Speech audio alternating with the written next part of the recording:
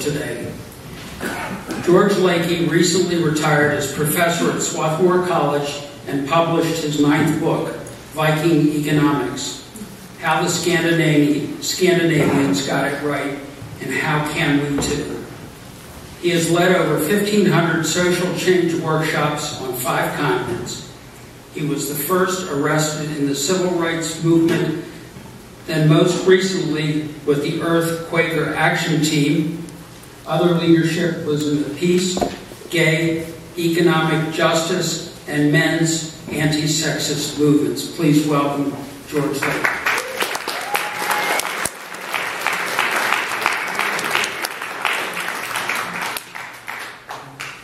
So happy to be here. My first time here was in the 50s.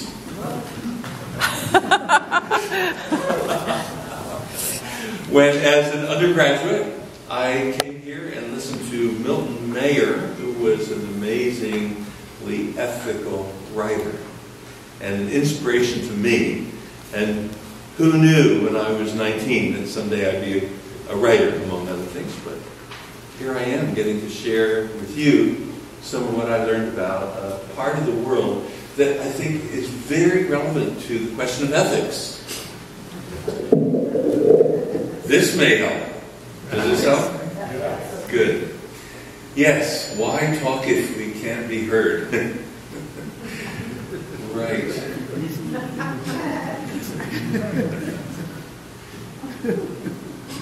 It was actually an accident that I got to the Nordic countries. Because when I fell in love with the woman who became my wife, uh, she, I learned very quickly that she was Norwegian, but I had no idea where Norway was. And I wear this to remind myself. But uh, she, she, uh, she was actually being pursued at the same time by another guy in the Quaker Summer Project where we were. And so I had to run very fast, especially feeling outdone by the fact that he not only knew where Norway was geographically, he even knew where her town was. And that struck me as extremely unfair. Nevertheless, uh, a couple of years later, I found myself on a ship, thanks to my grandfather loaning money to his lovelorn grandson. And uh, on my way to Norway, five days after getting off the boat, we got married. Which helped to motivate me to learn Norwegian because I was curious about what was it the priest said. It was very reassuring to find out what he said, what I had agreed to. I also was interested in learning the language because her family didn't actually speak English. Nowadays, Norwegians, Swedes, Danes, they all, everybody speaks English pretty much. But in those days, you know, a lot of people didn't, and her family didn't. So if I was going to have a real relationship with them, I was going to have to speak their language directly. And I was very motivated to get to know and win them over because they started out with a prejudice against Americans. They thought Americans were very uncouth and way too prone to assassinate their presidents and uh, just uh, kind of a violent lot. And why would their daughter be willing to come to this weird, savage place? So I needed to be at least polite enough to learn their language and enjoyed doing so. Well, I never guessed that I would actually get to write about that place. I was fascinated with it, and part of it was the uh, stranger in the strange land experiences that I kept having. For example, uh, Berit said that we could, I could continue my undergraduate education by going to the University of Oslo, and that it would be free. I'm a skeptical guy, actually, by nature. So I thought this can't really be true. So on the first day, the matriculation day, I put down my $14 matriculation fee and waited for the other shoe to drop. And no other shoe dropped. So I turned to a Norwegian guy who I was making friends with, a, a, a student, and I said, Sigurd, what sense does it make for a country to provide higher education for free to its people? And he said, George, look, wouldn't you say that from an economic point of view, that brain power is a major economic resource for a country? Well, yes, I would say that. Okay, well, he said, in that case, why would it make any sense for a country to hold back in the full development of its economic resources by putting a price tag on the full development of its brain power? Hmm. So I thought about that all the way home as I walked home because I was thinking, I did have a story, of course, about why they were doing this free higher education thing. Um, did, have you ever made up a story about something even though you don't really know quite very much about it, but it's just comforting to have a story? So I had a story that the Norwegians were doing this as a fling. a fling to their idealism. You know, so we'll do this higher education free thing, and that'll make us feel very good about ourselves. And we'll just prove all the more how superior we are. And they made it out, made it up in other ways. It didn't occur to me what Sigurd said. That is, that there would actually be pragmatic economic payoff to doing the right thing, the right thing by their lights, which was to promote equality and individual freedom through higher education for free. Well, that really uh, shook me because I've been brought up believing that there are two worlds that we inhabit. We inhabit a moral or ethical world of values. That's one world. And then another world we occupy is the world of practical results, pragmatic calculation, realism. And that these two worlds are separate. And that our existential dilemma as human beings is to work with this tension that exists and try to come up with, you know, with what we could make out within our lives, but just understand that these are two worlds. But this was a very strong signal to me from them that maybe those two worlds don't exist as two worlds. Maybe there's one world. That maybe when you do what's right, it turns out also to be practical in other terms.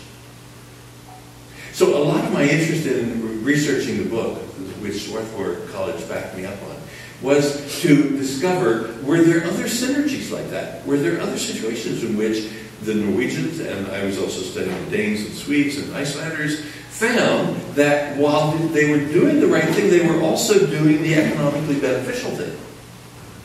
So guess what I discovered? That when they provide free health care for everyone, and, and it's a highly uh, a, a, system that's geared to individual needs in a very high degree. For example, if you happen to live north of the Arctic Circle, I don't know if you know that Norway is a very long and skinny country.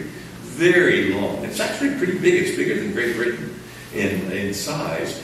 Um, but it stretches way up the Arctic Circle, and if you took Oslo as a pivot, if you put your finger on that and then move the country around, it would reach Rome.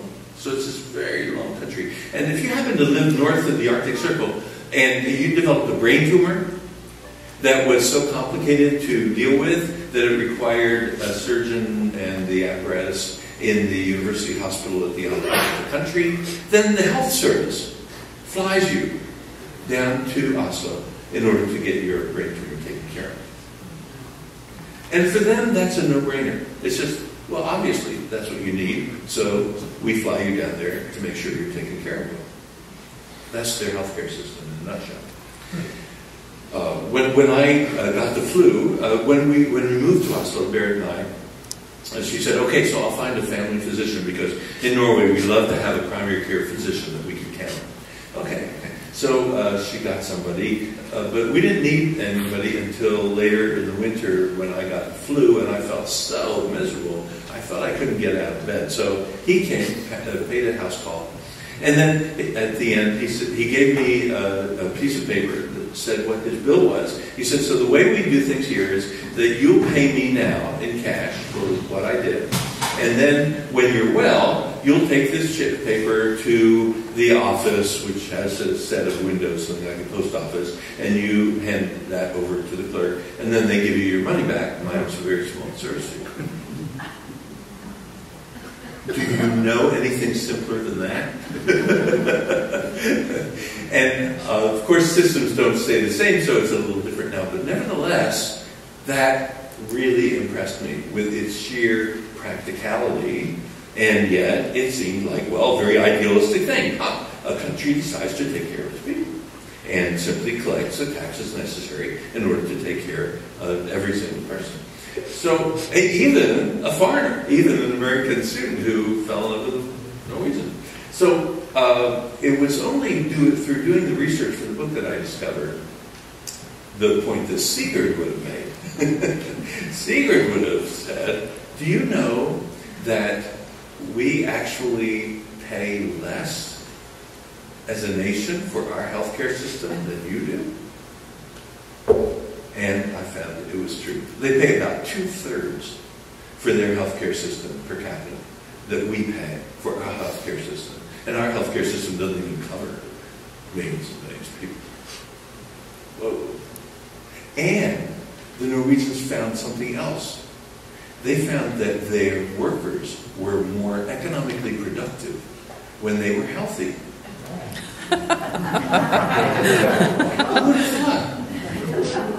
I mean, you wouldn't think, would you, that people are more productive when they're healthy?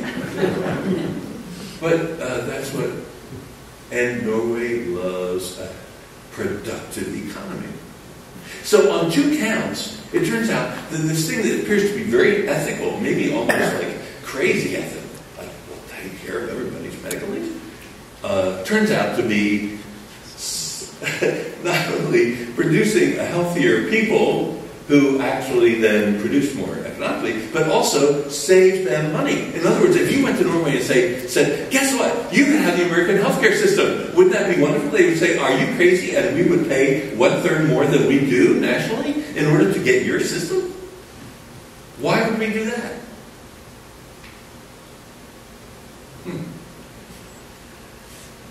Over and over and over and over again, found. I made, I made friends with an immigrant from Burundi we were on the same bus going someplace, and I, I chatted him up, which he said was a bit unusual because he found Norwegians anyway didn't seem to want to talk to anybody. It's like a lot of personal space. He found that somebody from Burundi, where people are talking all the time, spending lots of time in the market, just really enjoying enjoying sociability. He found that very cold and, and weird about Norwegians. Um, but I, I said, uh, so what's been like for you as an immigrant? Because there's a lot of speculation in the United States about how immigration goes in, in various countries. He said, well, I can tell you my story. What happened was that I sat down with a government worker in Oslo, and he said, okay, so we offer you a deal. This is the deal, take it or leave it. We will offer you, uh, to, to pay you a living wage for a year. In return, you need to A, learn the Norwegian language. And if you start, you know, dropping out of your classes, not showing up on time, we'll stop your pay. you need to take seriously learning the Norwegian language. You also need to learn our culture, take classes in that. You need to learn job skills that are marketable in our country because maybe you're an awesome something or other in Burundi that we don't happen to make or, or use. So you need to learn something that you know will uh, will work here. And you need to be willing to be put in the country someplace where we want you to be. And that may be the hardest of all, he said, because we might put you in a remote fishing village in the western fjords where there will be nobody your color anywhere near. And it may be the loneliest year of your life. But that's how, that's the deal. You have to agree to all of that. And if it turns out that your language, your native language is so different from ours that you need more time, that's possible we can do an extension. So we'll keep paying you your wage while you learn more language before, you know, before you know. What do you want to do? It's up to you. You can leave or you can stay under these conditions. And he said, oh, I'll stay. So he stayed. I said, what was it like? He said, it was the loneliest year of my life. there I was, I didn't know anybody. And I, I kept interpreting as racist the uh, aversion that Norwegians seem to have to check me up. Um, but then I looked around and I really, as I got to know the culture better and observed them more closely, I realized they didn't talk to each other either. and bit by bit, and Buddy, he said, of course there was racism, bit, I got to know uh, to know how to navigate in this country. And uh, and I said, then what did you do? He said, well, after the year, I, went, I had learned, I met all the requirements. I did go back to Oslo, where there'd be more of my people to hang out with. But he said, I fell in love with an ethnically Norwegian woman, and we, uh, you know, we joined the church together, and we have a baby, and I'm in the church band, and thanks so much for your music, by the way. And uh, I'm in the band, and I, I'm having a great life, he said. I said, well, that's very interesting. So I checked with policy people who uh, are in the government who work with immigration and uh, with his story, and, and he, they said, yeah, that's a typical story. Not everybody experiences that. That's a fairly typical arrangement that we make, very contractual. Okay, so right away, I'm trying to understand in terms of this diplomatic uh, business. Um, it seems very a very ethical uh, way. It seems very self-respecting for the Norwegians to say, "We need you to do this." It's very contractual. It's very respectful of the other person because they can say yes or no, and they can you know go, go see if they can get a better deal somewhere else. So it seemed very adult, adult, very respectful uh, uh, contractual relationship. Um, so I noticed that, but it also requires uh, the Norwegians to put up front a tremendous investment in this person. And he's got a caseworker, get the whole deal. So that's a lot of investment. So you could say, well, that's one of those idealistic trips that the Scandinavians are into. You know, uh, guess what? Pays off. Because at the end of that upfront investment of a year, that person is then joined to the economy and able to be productive and able to move things forward. So, uh, time after time after time, I kept finding these synergies between what is practical, what, what enables them to be a more high performing economy than the United States. They have more startups, for example, than we do. And when I found that out, I was a little bit insulted. I mean, my country, center of capitalism, we should have more startups than anybody. No, we don't have more startups than anybody. They have more startups. But I explained the reasons in the book that has to do with uh, to take the risk of doing a startup. Let's say you're 45 years old and you have this great entrepreneurial idea that you want to quit your job and do, right? It takes your full time to really develop this idea. But in this country, you think, yeah, but uh, the kids are about ready to go to college. I better not do this because, you know, if it doesn't work out, I can't pay their way. And besides, um, uh, then I lose my health care because it's attached to my employer. So that's an issue. And, and then what if the, I bet the farm and it all falls apart and then there goes my retirement. But none of those things is an issue over there. It's the best, uh, it, the international ratings say it's the best place in the world to be an elder. Because there's universal pension. As well as universal uh, availability of higher education, as well as medical care, and so on and so on. So that means that the bright-eyed, uh, you know, the gleam in the eye folks who want to be entrepreneurs in Norway, Sweden, Denmark, and Iceland have a head start. They are supported by their society to follow their dream. In fact, there's even encouragement over there for you to quit your job if you don't, if you get up in the morning and don't want to go to. You know, you feel like I'm no longer fulfilling myself, this isn't really what I'm, you know, or I'm just tired of it. I want something, a new challenge, whatever. They say quit your job.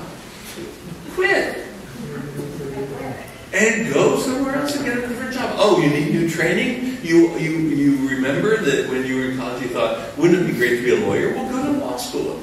You know, do it. It's free. Or, hey, I want to be able to play the piano like, guy. Well, go to music school. It's free. Get retrained. You, you missed out on going to sea. There's a kind of tradition in those countries of people a few years, you know, in their young, young adulthood spending at sea, but you missed out on that chance. Uh, but you'd like to uh, serve in the merchant marine as an engineer, but you don't have those skills. Great. go to engineering school. It's free. Get trained to do nautical work, and a ship and have yourself involved for the next ten years. Good. Danes change jobs like uh, some people change furniture. Because, again, investment in individual people is regarded not only as an ethical obligation of an economy, but also as something that enormously pays off. Because guess what? People who are who like their jobs, people who find job satisfaction, are more productive than people who go and play video games, you know, while they're pretending to work. who knew?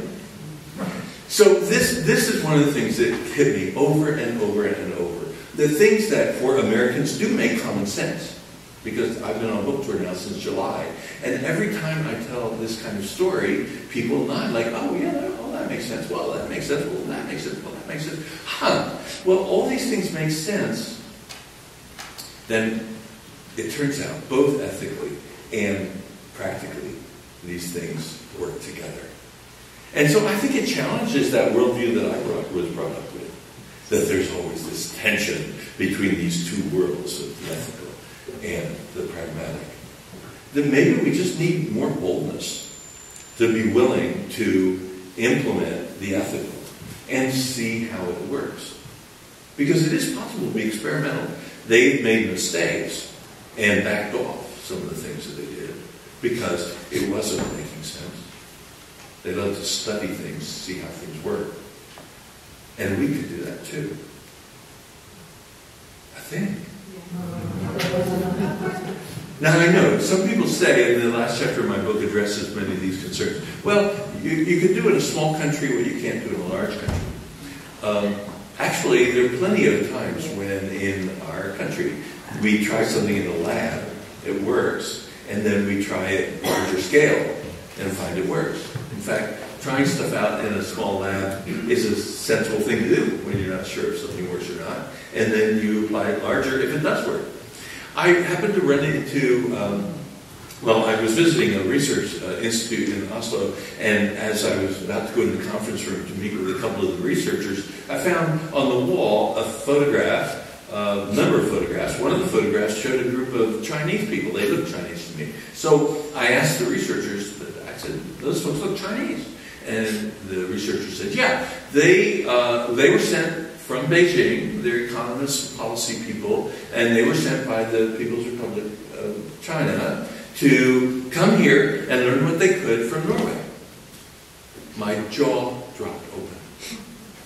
Because China makes the United States of America look small by comparison. And they also make the United States look homogeneous by comparison. Because China is way more heterogeneous than we are. And the Chinese government thought it should send people to Norway to find stuff that they could use. So the, the, the researchers I was about to interview uh, saw my jaw drop, you know, and, and they laughed. And they said, we wondered the same thing. So as soon as we brought them into our conference room, we said, okay, so what are you doing here? and, the Chinese expected the question, and they said, look, we're economists. We look at economy in a very complex way. We understand that there are some features of an economy that cannot be scaled up, that happen to work best on a small scale and don't scale up. And then there are other features of an economy that do scale up. Work small, can work large, also. And the same with culture. Then there's some things that are culturally very specific and other things that culture doesn't from an economic point of view. So we're here to find out what we can scale up and what will, what will work in Chinese culture. And that's why we're here. So that got me thinking in a whole different way. And so one of the things I thought about was in Iceland, they have for 325,000 people a social security system. Well, for the United States of America, 330 million people, we have a social security system. I mean, ours is stingier than theirs is. but it still is a system that actually works. And even though there was great resistance to putting it into place at the time, There were people say, "Oh, that's a communist plot," or "That's uh, you know a foreign import. We wouldn't want to do a social security system in our country. They do it in Europe. That's a Europe thing. That's not the American thing." Um, nevertheless, do you, do you know anybody seriously who would like to abandon the social security system? Uh, or think of Medicare. Think of Medicare. That's a more recent import. Okay, the, those countries, uh, those small countries do with Medicare. Uh, again, our Medicare system is more stingy than theirs because they really put health on such a high plane. But nevertheless, uh, we, our Medicare system studies show has way higher customer satisfaction than do private healthcare plans. It works. In a big country, works in a small country. So this thing that I thought might be a real problem, scaling up and doing something, you know, that was working in a relatively homogeneous society, uh, trying to make that work in a heterogeneous society. Hey, the Chinese are. it just depends on which feature. And so if we were to adopt the, the Nordic model, then we would want to be discerning and we would try to figure out which are the things that can be scaled up. And if it can be scaled up, then why not? I mean, think, think of higher, free higher education. New York City had it for decades. Some of you know that. They had it for decades. The most diverse city in the country, the largest city in the country, and they had free higher education, CCNY, for a very long time. Why was that given up? That's worth a study right there, right? And, and California, I'm just back from California two weeks on speaking tour and uh, about the book. And again, they, they were used virtually free higher education for a very long time. And again, very, very heterogeneous, and uh, in some ways the largest state, one of the largest states in the country. It's got the fifth largest economy in the world. China I mean, it's California does. so, so for, for all these reasons, I, I, I would say, hmm, why wouldn't we want to do what's sensible and what's practical and what's ethical for our people? And why wouldn't we demand that? So then, in the book, you can imagine, I had to go into that question. How did they get it? Is it that they are super rational beings who can do, who could be, be so uh, thoughtful as to do this? Well, a century ago, they had an enormous wealth gap, like we do. They had enormous poverty, like we do. They had a pretend democracy in which they had a parliament. Yes, each of those countries had a parliament. Yes, they had free elections. But somehow the majority might think one thing, but the country would do what the economic elite wanted. I would say we have a pretend democracy. So they, in some ways, were very similar a century ago to the way we are now. So what they had to do was turn themselves around. And it took nonviolent revolution to be able to. And I actually tell the story of that in the book because it's very dramatic. How did they dig in to that struggle and push their economic elite out of the leadership of their countries so that they could establish actual democracy and invent the Nordic model, which nobody had invented before. So that's an exciting story for me. Because I'm an American. Did I stay in Norway? I had a great job, great adopted family, very stable, an amazing society with many benefits for me. I could have, you know, gotten a PhD there. I could have done all this stuff. Did I stay there? No. I came back. My wife wanted to come back. She said, the U.S. needs us. That was her, like, maybe a little bit condescending view. My view was different. It was very much more a, sen- a sense of identity. I really feel involved with my people. You're my people. We are together in this. And I wanted to cast my lot with our future. I thought I wouldn't get a chance to write this book. I thought that Americans wouldn't be interested enough in finding out how other th- people do things to even make it worth the while to spend seven years doing that research interviewing and writing. But I spent the seven years because I did have a sense my people can be humble enough and curious enough to learn from the positive experience of others. So that's what I did. And I'm so pleased to be able to bring that message here, here of all places, where I first came through that door in the 50s. What a treat to be back. Thank you so much.